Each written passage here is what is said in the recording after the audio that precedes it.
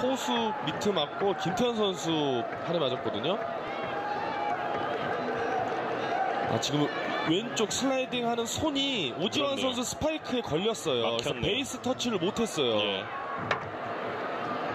그이 상황에서 오, 지금 아. 김민성 선수 지금 팔이 바운드볼. 자, 이 사이에 한 베이스를 더 노리는 김혜성. 2루에 미끄러져 들어가다가.